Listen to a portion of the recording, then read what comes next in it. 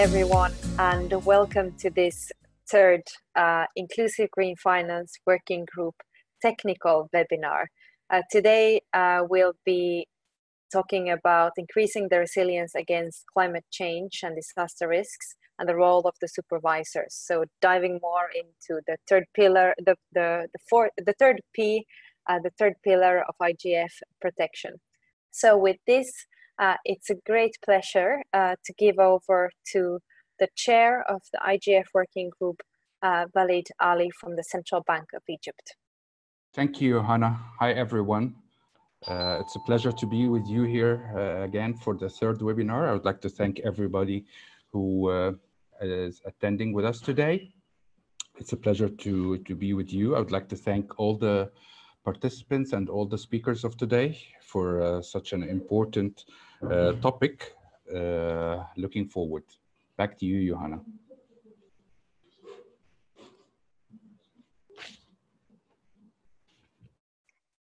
Thank you uh, very much, Walid. Um, so today uh, we have the great pleasure of welcoming two technical experts uh, with us for this uh, webinar around protection policies and more specifically climate risk insurance. So let me introduce to you Teresa Pelanda from the Access to Insurance Initiative, where she's been working since 2014 She's the lead contact for Central and Eastern Europe and the Caribbean region, responsible for A2II's implementation activities and cooperation with supervisors and regional associations. She is furthermore the A2II monitoring and evaluation specialist and responsible for the topic of climate change and disaster risk resilience.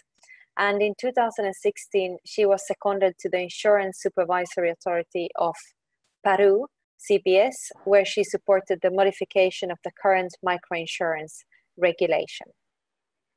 It's also a great pleasure introducing to you Kofi Andoh from the National Insurance Commission in Ghana, NIC.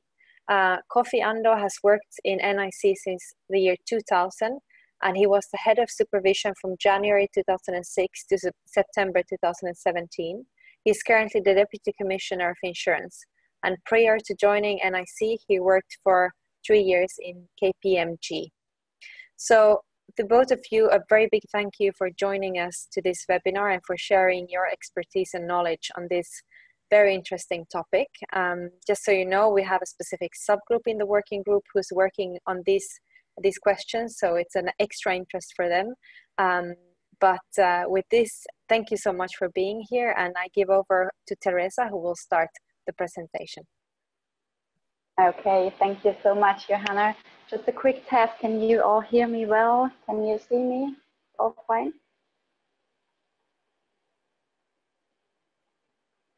Yeah?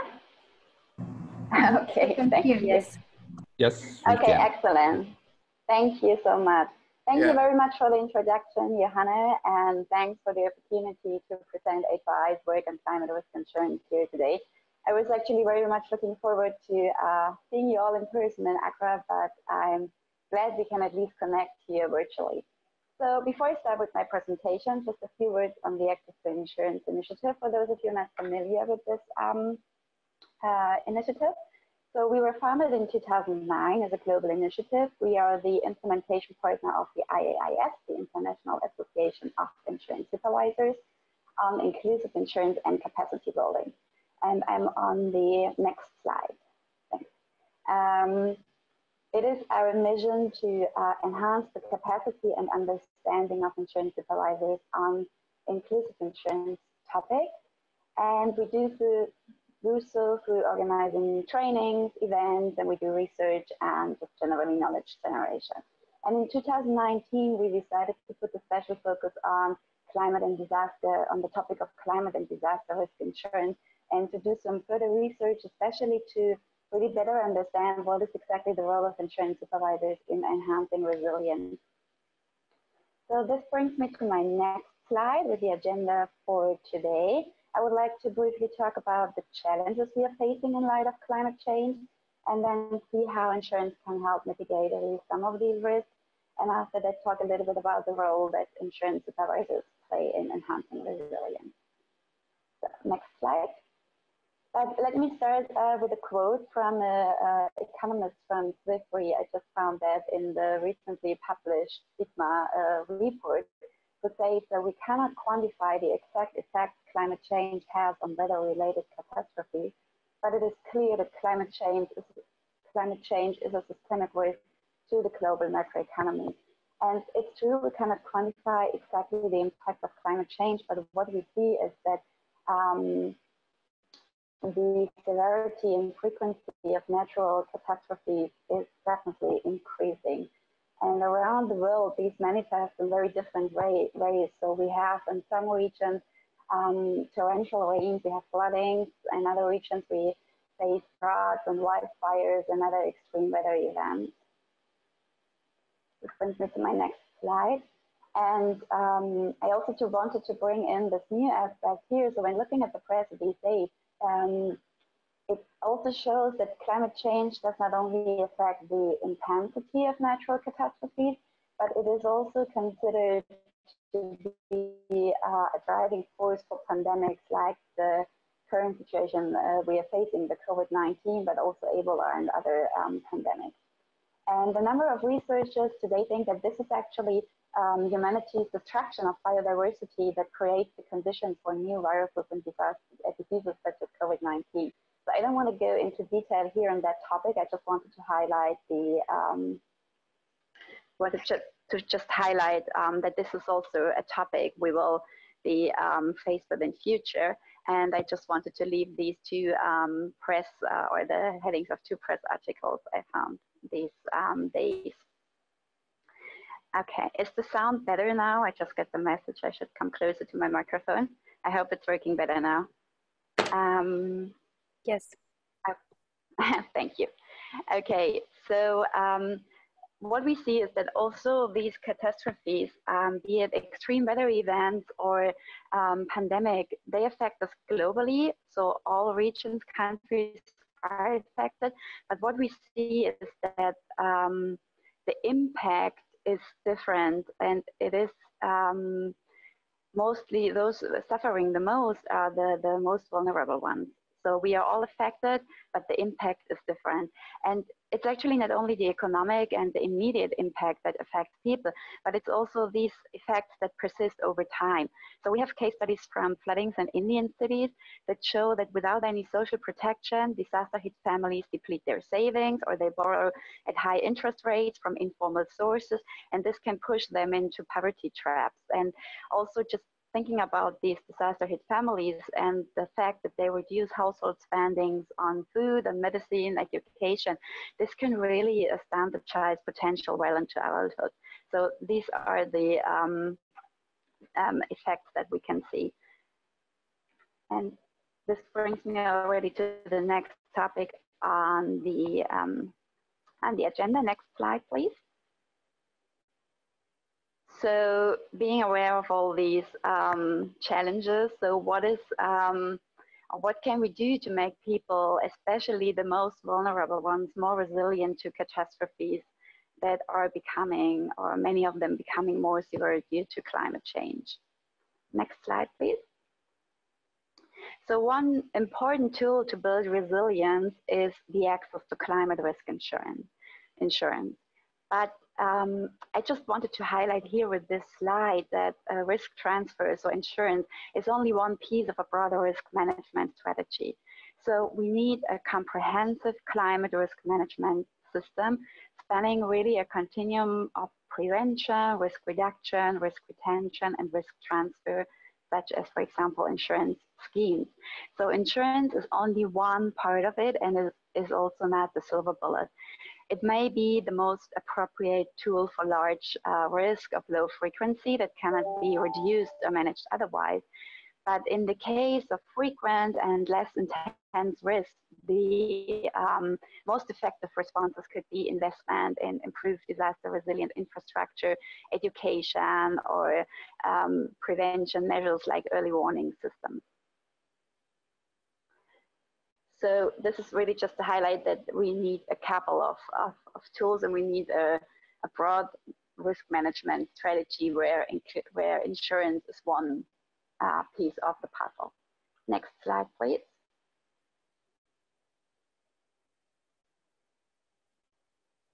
Okay, thank you.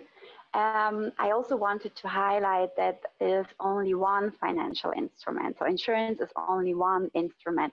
It is crucial for people to have access to a variety of financial instruments. So as you can see here on the slide, also the access to savings, credits, remittances, and so on is, um, is crucial for people.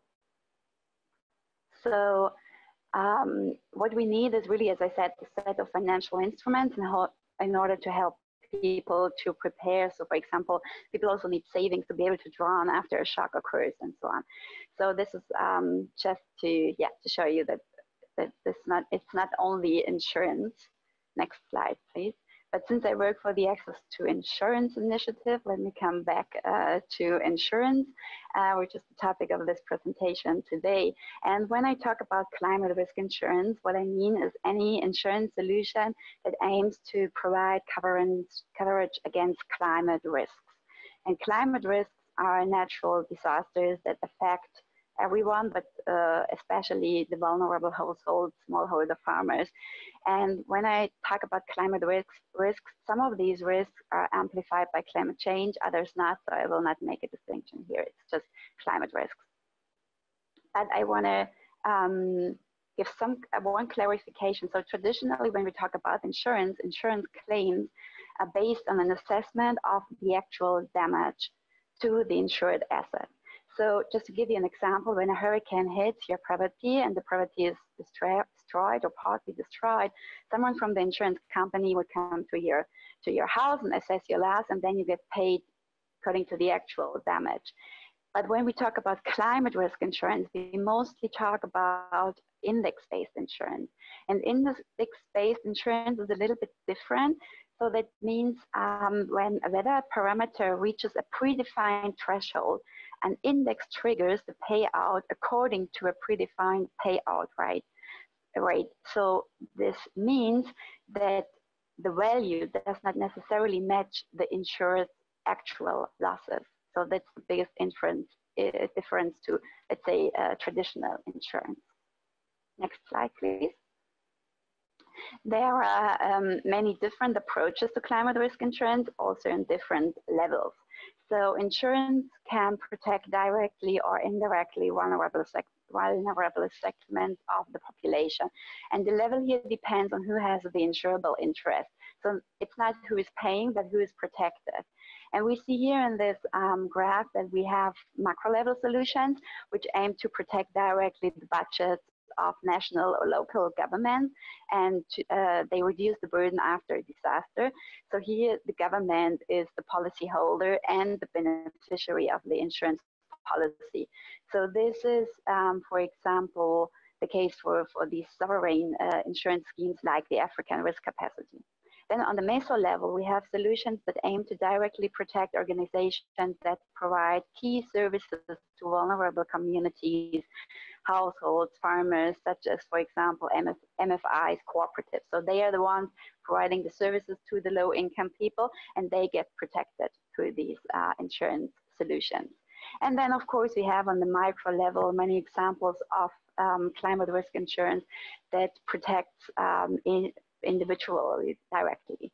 So we have great examples here like the World Food uh, Program, the R4 program, which um, what I just mentioned does not only offer insurance, but a set of tools so that people can um, better prepare for a natural catastrophe. catastrophe. Next slide, please. So as we see, I mean, insurance and climate risk insurance can be um, a very important tool but as you see on this slide is that there is a huge protection gap. And protection gap means that the economic losses and that there is a gap between the uh, economic losses and insured losses from disasters. So this gap is extremely high when you look at this map in emerging countries. So in sub-Saharan Africa, for example, um, uh, for, for example, in sub-Saharan Africa, um, the, this gap is almost 100%. So most of natural catastrophes are not covered at all by insurance. And this is something which has not changed over the years, and also it's um, true that this gap is even widening through to climate change. Next slide, please. So what are the causes of the protection gap? There are several reasons for the protection gap. And what I just wanted to quickly show with this um, graph from the Geneva Association is that you can find these um, these reasons for the protection gap on both on the supply and on the demand side. And they also differ depending on the sophistication of the market. So when we look at the merchant market, here at the supply side, one of the major barriers is um, what it's called here institutions, and this include, includes the regulatory frameworks. So regulatory frameworks can unintentionally hinder the development of sustainable insurance market by creating, for example, unnecessary barriers like restriction on products or distribution channels or so on. So as you see, there are many other um, barriers, but let me focus on the one of uh, regulation and come, let's come to the next slide. Um, so this is also very much uh, in line with what we found out in the survey that we conducted in 2019 when we asked um, insurers whether they were facing any regulatory barriers when implementing climate risk insurance solutions. And as you can see here, 77% of these um, interviewed people said, yes, we had difficulties um, in terms of re regulation when setting up these schemes. So this brings me to my next slide because if regulation can be a hinderer, I think regulation can also be an enabler of climate risk insurance solutions. And this is what I would like to um, talk about right now. But let me start with just a quick recap. So besides consumer protection and ensuring the stability of the market, we see that many insurance supervisory authorities also have a mandate in market development. So these supervisors have within their means the ability to set up proper frameworks and uh, several uh, mechanisms to really enable the development of responsible markets. So what does that mean? What can they do um, more concretely to develop the market for climate risk insurance? Well, there are different um, different approaches. Let me maybe start with the um, with the uh, supply side and see how supervisors can stimulate the market for um, or the supply for climate risk insurance. So as you can see here on this uh, slide, the very first point here is by stimulating, um, uh, by enabling risk carriers within the domestic insurance market. What does that mean? Um, they can, for example, help the domestic insurance market to offer these products by setting up so-called co-insurance pools. The creation of such pools can really unlock opportunities for the development of climate risk insurance products, especially in those countries where one single insurer does not have the capacity or the skills to offer climate risk insurance. Many of these pools that we um, that we currently see are founded on public-private partnership basis. So that means the government is involved and the, the um, private sector is involved and the government in these cases often provides support through, for example, subsidies, reinsurance, or by taking on the risk directly. Here, the supervisor can play an instrumental role in driving these initiatives by providing advice in the setting up of the pool or setting clear regulatory perimeters to ensure that these pools can effectively operate um, and that they, yeah, really make sure that, that they are stable and sustainable. And to just um, name a few examples, in, in, in Senegal, it was actually the insurance super um, supervision department who really championed the creation of such a pool, the so-called CNAS. It's the National Agriculture Insurance Company of Senegal, and it's a specialized agriculture insurance company that really brings together the private and the public insurers to provide agricultural insurance products and specifically to uh, protect the rural populations against climate risk. We have other examples here, a very prominent one is, um, is from the Turkish government, who also decided to introduce a risk transfer scheme for earthquakes. Um, but there are other examples, and I just recently saw um, in the news that also Egypt's Insurance Federation announced that they would launch the first insurance pool in the country to mitigate natural disasters. So this can be one mechanism by setting up these pools. In addition, um, and more generally, what supervisors can do is to build resilience, uh, to build um, capacity of the local insurers. So they can, for example, provide relevant data if the insurers have no access to it. Then my second really important point here is um, this, the second bullet point here on the slide that which means that supervisors can harness the role of the in industry by enabling innovations. Um, they can they are in the position to create an environment where insurers can test new ideas for climate risk solutions. And this is important to have the space to test these new, new ideas, to really learn from your mistakes, find solutions that work, um, and yeah, just make sure that they are sustainable in future. So what the supervisor here can do proactively is, for example, to allow sandbox approaches. This is something we see in the insurtech space. An increasing number of supervisors are implementing these um, sandboxes. So this really gives the insurers or the practition, practitioners the space to inno innovate, but in a structured way where uh, consumer protection and so on is ensured. Also here we have very interesting examples. For example, um, the um, sandboxes or pilots in index-based insurance. So in countries like Guatemala or Kenya, where no index-based insurance regulation was in place, they decided to have these um, pilots or sandbox approaches. And then afterwards, based on the, the experiences and the learnings from these um, from these um, sandboxes, they then um, uh, work on a regulation for index-based insurance. Another very crucial um, way of enhancing access to climate risk insurance is through uh, distribution channels. And this is something that we also observe in, um, in inclusive insurance, that it is crucial to have the right distribution channels to really reach people. And it's important to find organizations, entities they trust And So for example, cooperatives or agribusiness or community-based organizations, these people already have a good relationship with so that they can be used to also distribute insurance. And this brings me already to the demand side and how supervisors can stimulate demand. So um, there's, for example, um, the opportunity for supervisors to explore the possibility of making insurance against natural disasters mandatory in certain cases or by bundling products to gain scale. Because if we look right now at the most successful business models, these are those where the product is bundled or mandatory. So let's start with the bundling of products. This can uh, strengthen the demand and awareness for insurance and it may be necessary in some cases in climate risk insurance, but actually not just in some cases, because what we see right now is that almost 90% of the index insurance products are bundled with loans, agricultural inputs, or the provision of valuable information to the client.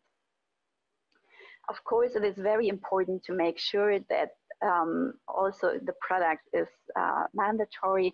The the consumer is really, um, uh, sorry, also it is bundled. It is very um, important for the consumer to know that there is an insurance product attached to this non-financial product.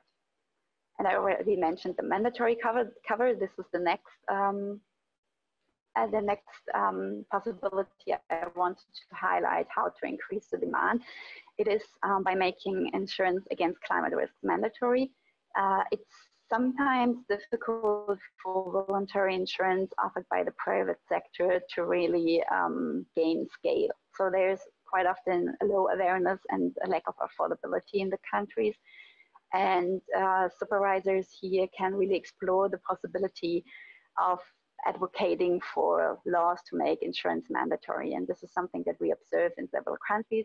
Of course, also this comes with a couple of um, pros and cons, so to say, it's still very important, even when you have the mandatory schemes, that the consumers are aware of the product, that they know about their benefits and also how to use it, and they should always be given the choice of selecting uh, providers, even the product is uh, mandatory. And also here we have a couple of um, examples, like in Turkey, where the earthquake insurance, for example, was made mandatory for um, residential buildings that fall within municipality, municipality boundaries.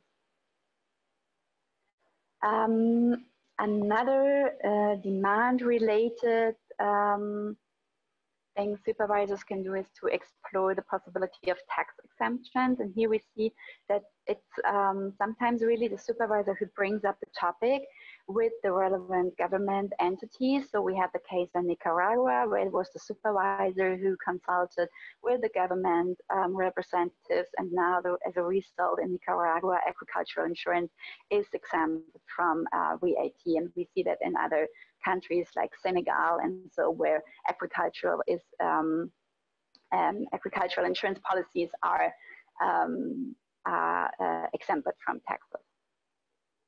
And of course, subsidies is another topic. I don't want to go too much into detail because this is also a rather controversial uh, topic. topic. Um, it may be necessary to subsidize, especially uh, in the in the early um, years of these programs. But also here, it's always um, important to to have smart subsidies to really see if this is the only option.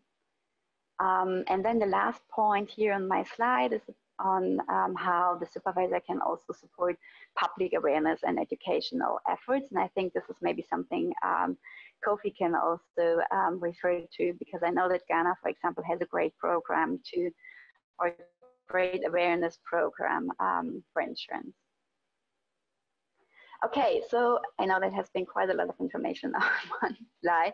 So just to summarize that um, there is a way to enable demand and supply through regulation and supervision, and it is very important to have the supervisor really involved in these um, uh, initiatives.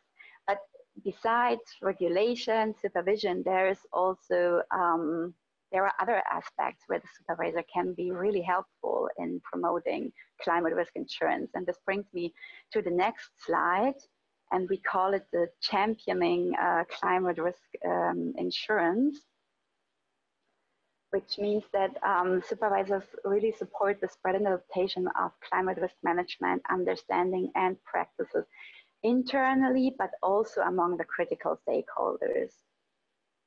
So just to give you one example, we heard at, a, an event last year in CIMA, the Inter-African Conference of Insurance Markets in West Africa, um, here, the regulator is currently drafting a climate strategy to really make sure that the supervisors are much more involved in climate-related topics and to really raise awareness about um, the issue within the uh, authority. And it's still, we, we have to recognize that it is the uh, insurance supervisor who is the one who can really explain the particularities of insurance, of its benefits, what it does and what it does, what it does not. And they are yeah they are really the experts on the government level and that's why i would say it is so important to always include them in all these new initiatives that are now um, setting being setting up.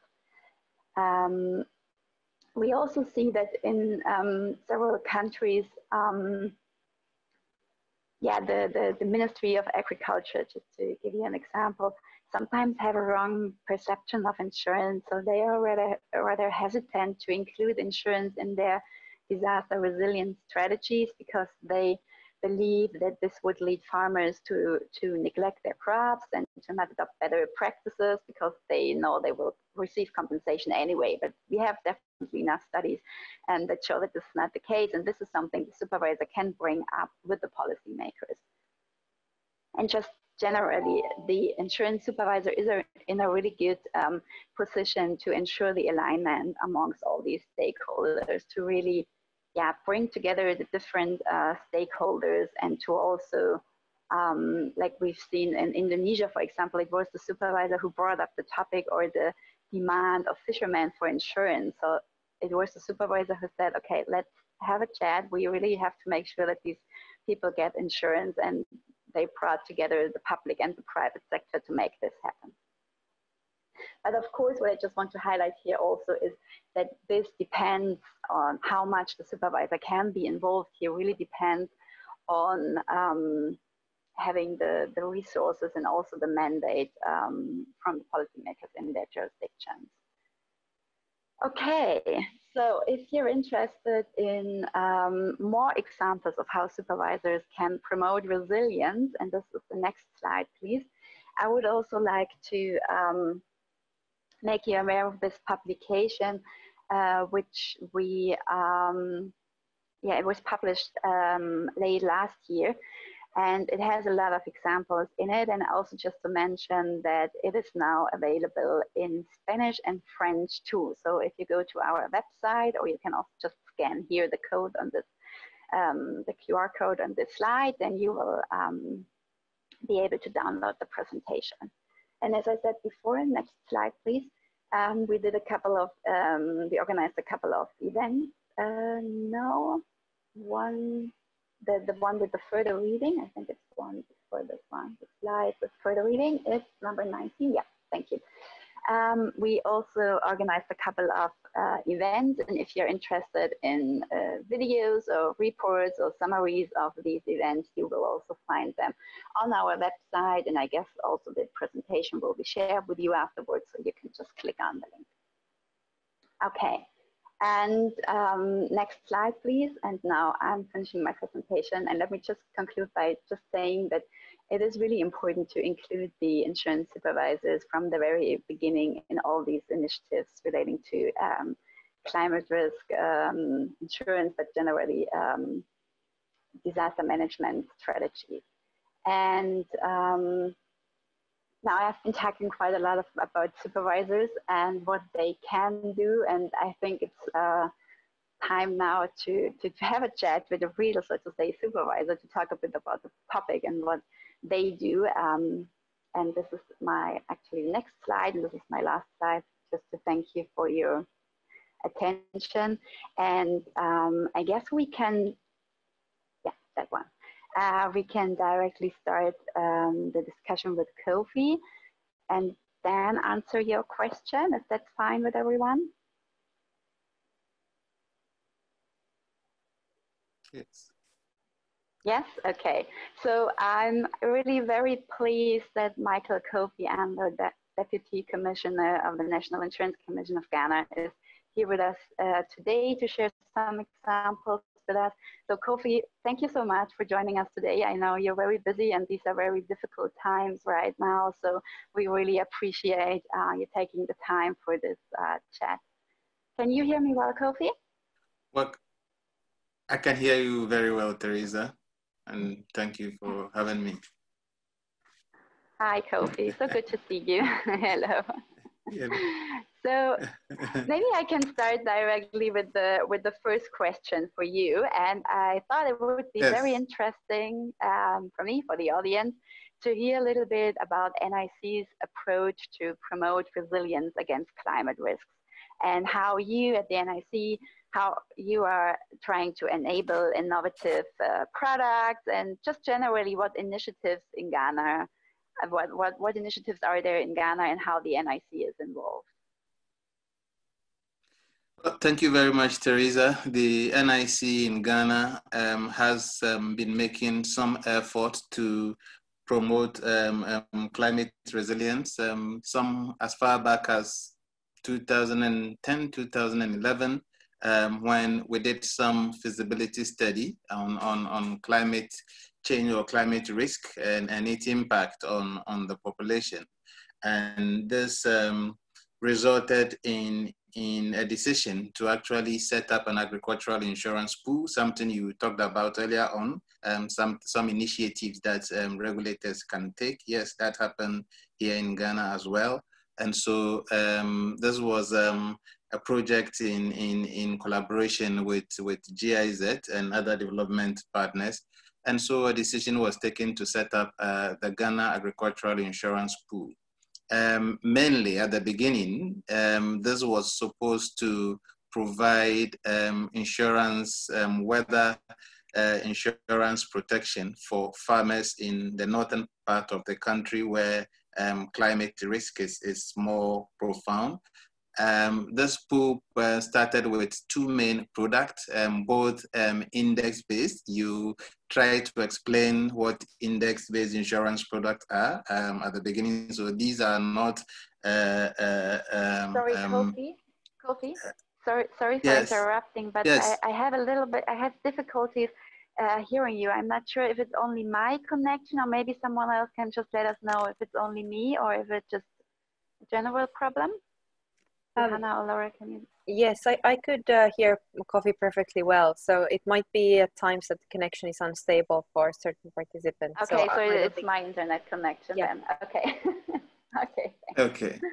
Okay. Okay. Um, so, so maybe I will the... switch off my video. Yeah. Okay. okay. Thank you. Sorry.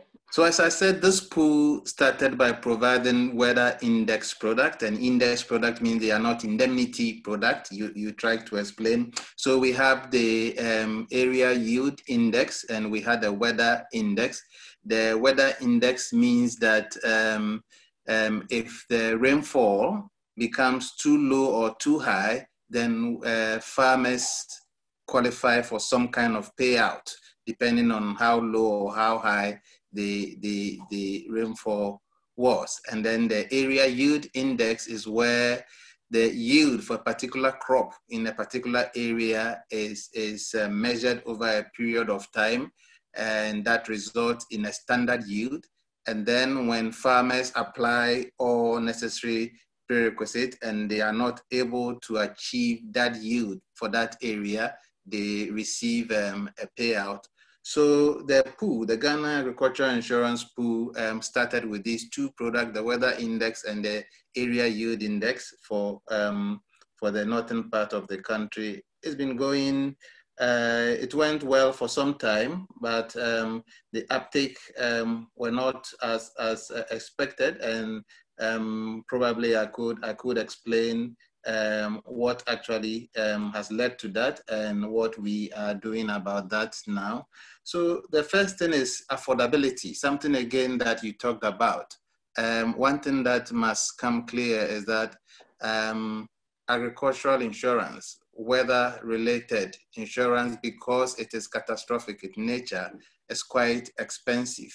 And so um, without the appropriate um, collaborations and help, um, the cost might just be too much and it may either be not affordable for the consumers or not sustainable for the suppliers.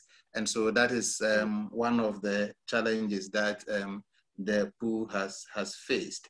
Um, there is also not um, a comprehensive government policy that tackles entire value chains and therefore sort of makes these insurance products mandatory for small scale level farmers. So if you add that to the to the background that these products are already expensive, then it becomes quite difficult for for the upscale to to happen mm-hmm. as as as as expected. But um, these are challenges that we are dealing with, and um, to address some of those things, the Commission is currently working on something we call the Ghana Agricultural Insurance Policy. So this is going to be the national policy that we are going to um, present to government for, for acceptance and, and implementation, and basically to address the challenges that we have. And so we know there's a protection gap and um, we know there's, there are demand barriers as well. So in the policy, we are recommending smart ways of, of removing the demand barriers to narrow the protection gap so that um, vulnerable farmers, smallholder farmers who face the risk of, um, uh, who face climate risk can actually build their resilience and, and probably uh, improve their input, their yield, and, and their investment. Um, I don't know whether this is too long a question for your very short answer. For a, too long an answer for your for your short short question. Sorry. no, that's really interesting. Thank you, Kofi. So, so you mentioned these demand um, um, barriers, and I know that Ghana is also very active. What I just mentioned in terms of like um, um educating people or making people aware of um, the benefits of insurance. Is this something that you also do specifically for climate risk insurance? Yes, um, we actually have a very comprehensive insurance awareness strategy which we are rolling out. Again, this resulted from some pilots that we did in the past. And at the end of the day, the entire industry came together and decided to form one group to develop a comprehensive insurance awareness strategy, which has been developed and is being implemented in phases. So there are strategies for various segments of the population uh, uh, various age groups, various occupations, and of course there are um, segments for smallholder farmers, um, but the, the, the strategy is being implemented in phases, and of course the, the, there's a section, there's a whole phase for smallholder farmers which are being rolled out in the rural areas, in the countryside, in the non-urban areas where the majority of these people are, just to raise their awareness. It is not as if these people don't face risks. They do face risks, but uh, what can they do about it? How can insurance help them? How can they take advantage of, of what is available? These are things that the, the strategy or the education plan is trying to draw their attention to. And of course, with the, with the plan to get the government official policy involved, um, the puzzle, we expect the pieces of the puzzle to come together to actually create the picture that we want to see. Mm, okay, now that's, that's really interesting. And in terms of, you mentioned the like different stakeholders, and I always see this as something very challenging when it comes to climate risk insurance that you have so many different stakeholders, so many ministries and different supervisors involved. So maybe can you share with us a little bit how is your experience or what is key like for this for setting up the dialogue and to working jointly on, on, on this issue? Very interesting, very interesting because especially um, working on this proposed national agricultural insurance policy, we try to bring around the table as many of all the stakeholders as possible, um, chief among them the Ministry of Agriculture, because that is where all the agricultural um, policy decisions are made and taken. And so we brought them, even within the ministry, they do have divisions they have people in charge of crops. They have people in charge of monitoring and evaluation. Mm. They have people in charge of data and statistics. And eh, getting all these, even these units to talk together and, and, and to seem to address the, the needs on the ground um, is quite interesting.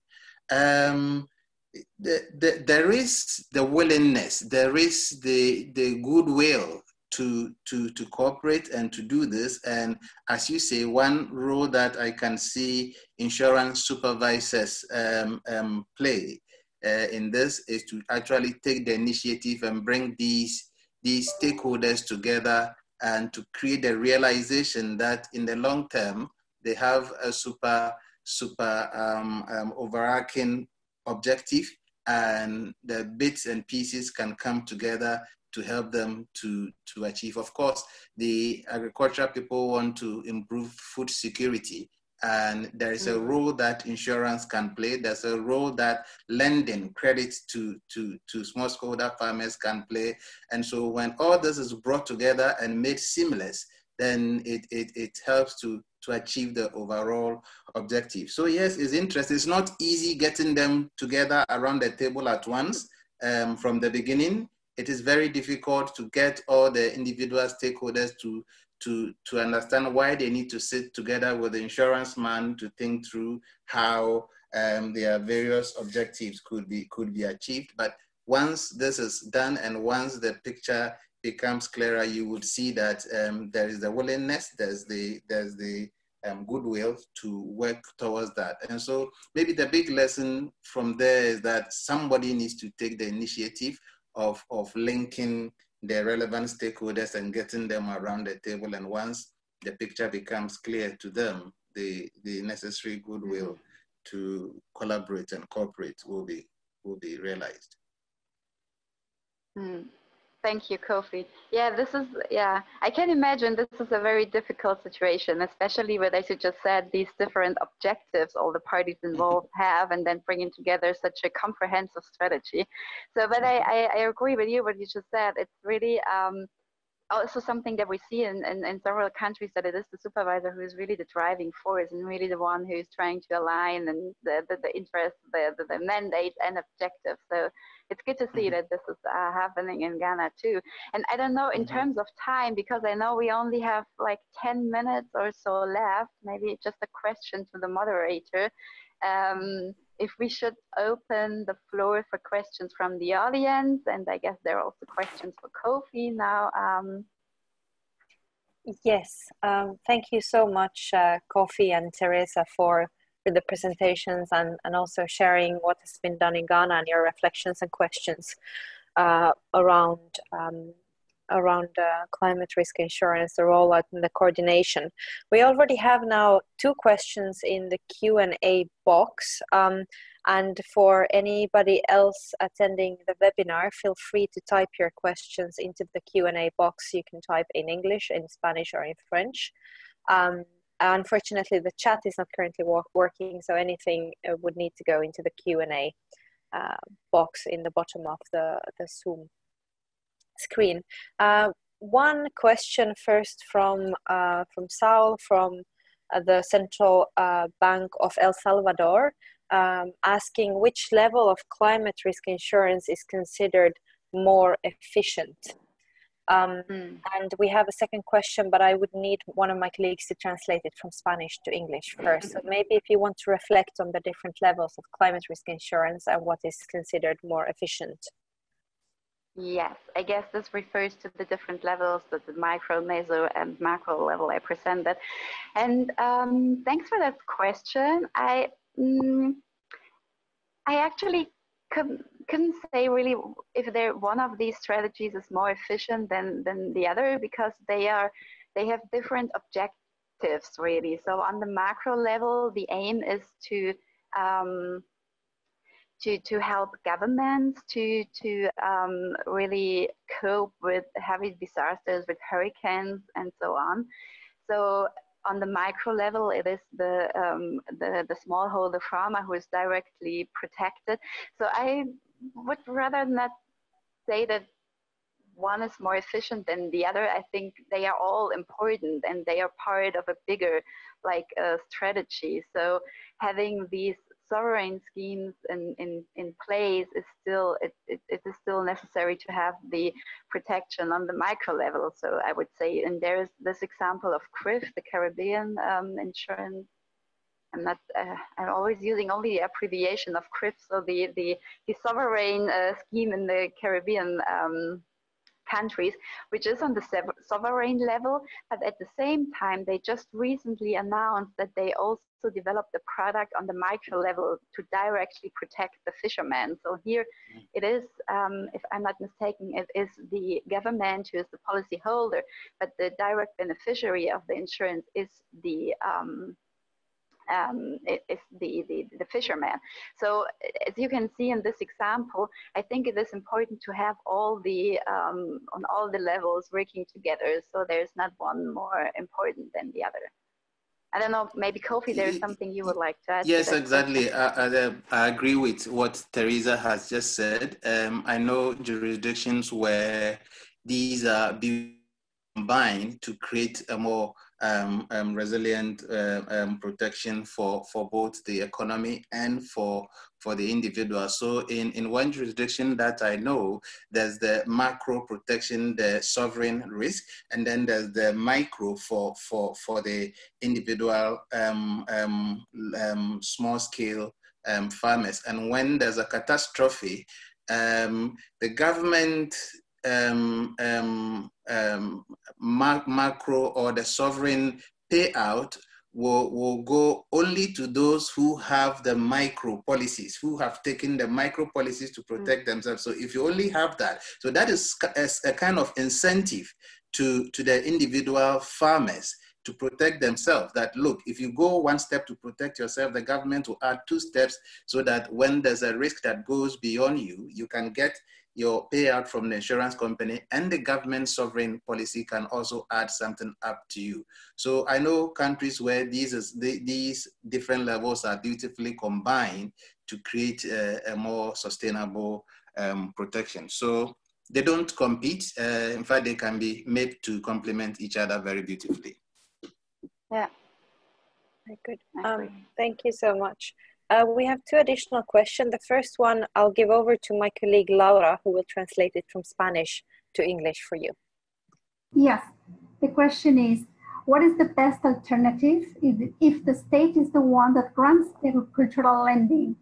So the first option is uh, that the state itself contracts or hires insurance and assume the cost of the, the cost of the premium or the other option is that the debtor contracts directly the insurance uh, to raise awareness into the debtor and encourage risk mitigation.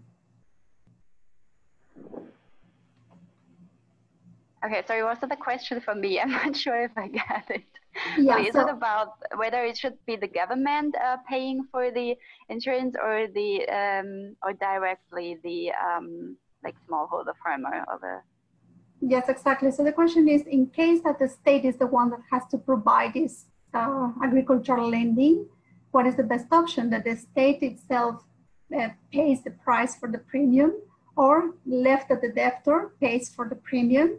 And, and with this action, they will increase the awareness to, uh, and to encourage the risk mitigation. Okay. Um, can, can I say something? Yeah, sure.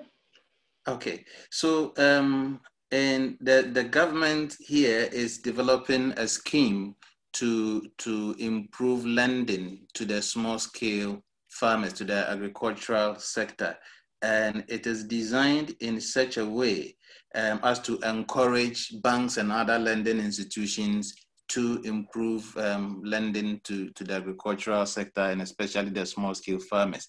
So there is a guarantee fund that sort of guarantees the, the loans that are given to the, the farmers under the scheme. But as part of the loan that is given to the farmers, part is used to pay the insurance premium.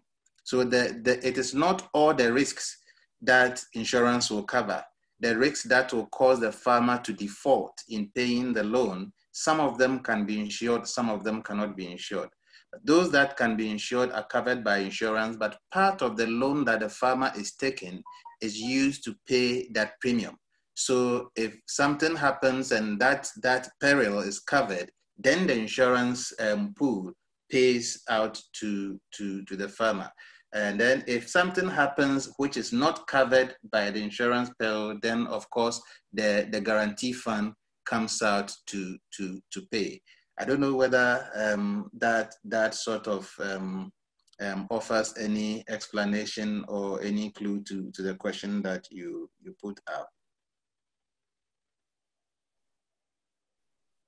Yes, uh, thank you very much. Um, we have one uh, additional question um, the last one we'll, we'll take in this webinar. Uh, it's coming from Bangladesh Bank, uh, Bank uh, Iqbal Hossein.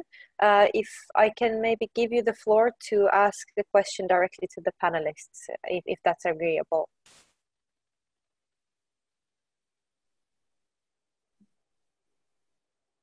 Hello, can you hear me? Yes. Oh, thank you very much. My question is, uh, as the insurance premium will increase the cost of the of the borrower or or, or the government who is willing to uh, willing to pay the premium. So my question is if one dollar increase uh, increase in insurance premium how much will the bank reduce the price to the borrower because the uh, risk premium will be decreased and maybe some cent central bank will also reduce their provision requirement for because there is already one insurance. So how much is the decrease for one dollar increase in insurance premium? What is the empirical evidence? Do you have any empirical evidence that for one dollar increase in insurance premium, like 20 or 30 cents will be decreased in other prices, other components of interest rate uh, setting mechanisms? Thank you very much. Thank you. Okay. Um, I, I, I am not a, a banker, and so um, for the empirical figures that you say I might not be able to to to put them out right now. Maybe when I finish um, um, some others who are more um, into the banking sector could um, respond. But the thing is that in the scheme that the government is setting up here in Ghana, the idea is to de-risk lending to, to, to, the, to the agricultural sector. And so there's a guarantee fund. So that itself um, is supposed to lead to lower lending rates to the small scale farmers.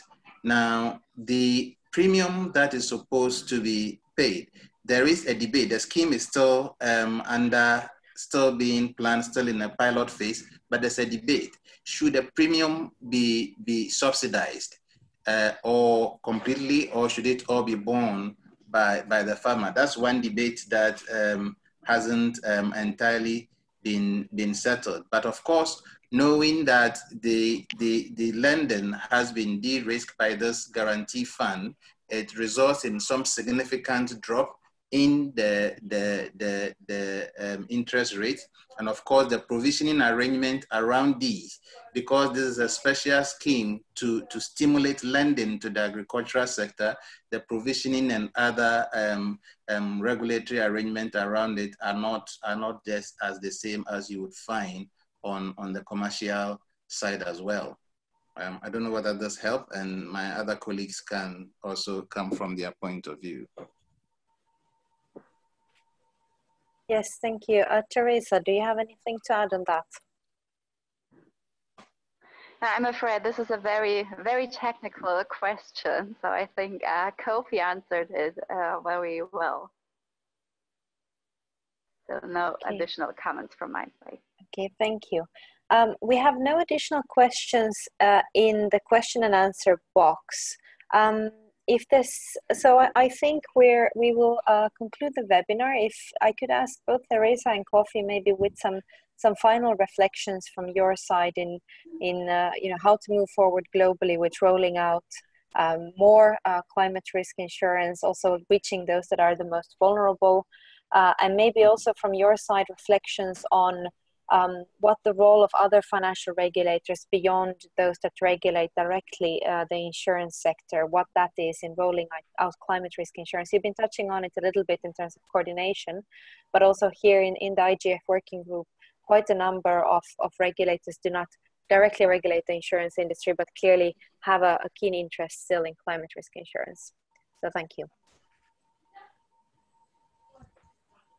Yeah, maybe if I can just start on what you just said, um, I think uh, really um, summarizes um, very well what would be also my key takeaway from the research we've been doing on the topic that this must be a joint effort. And as Kofi mentioned, I know it's, uh, I understand it's difficult sometimes to bring all the relevant stakeholders with their different um, objectives on the table, but the, the one slide I also showed with the showed with these um, integrated disaster risk management strategies shows that we really need to put our efforts together because there are different instruments that we need to help uh, people becoming more resilient. And only if we manage to make this a joint effort, I think we will be really successful. And this includes the this, the different supervisors, the insurance, the banking supervisors that have to um, think about uh, their strategies, but also on the uh, ministry level, I think um, this is really the important uh, takeaway for me that um, so all these parties are very relevant and this is, must be a joint effort really, yeah.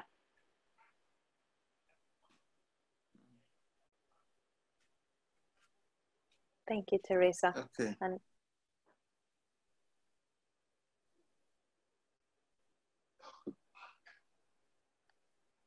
Hello? I think Kofi? Ah. Yes. Okay. So um, yes, climate um, risk is, is, is a real risk. It's, it's becoming more and more relevant and it affects um, people, especially in emerging economies, low income people.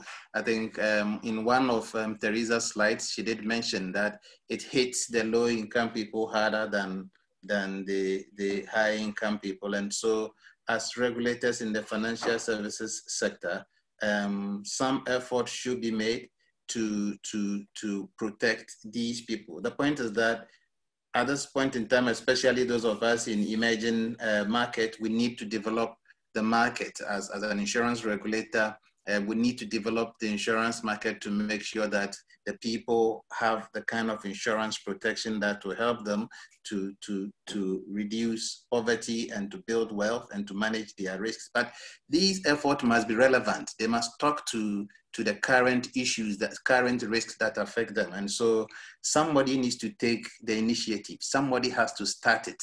Somebody has to initiate something and call others to join. And I agree with Teresa that um, regulators can take that initiative.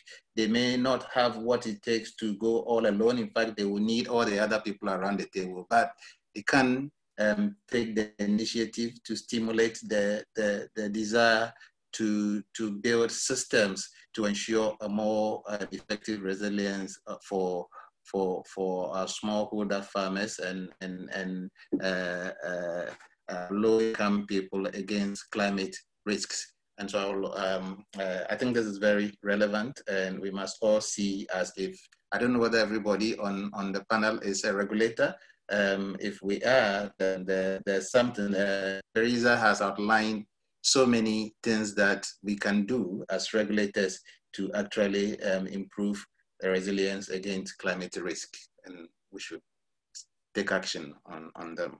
Thank you.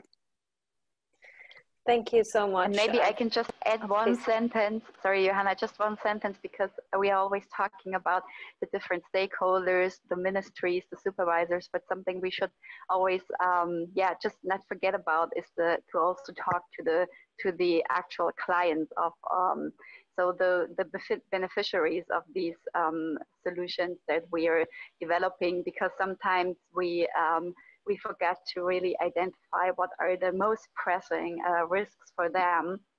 And we are setting up schemes without really consulting them. So this is also just um, one of the um, yeah like takeaways uh, from from the work on the topic that we should always um, make sure that also the actual client is included in our discussion. Thank you.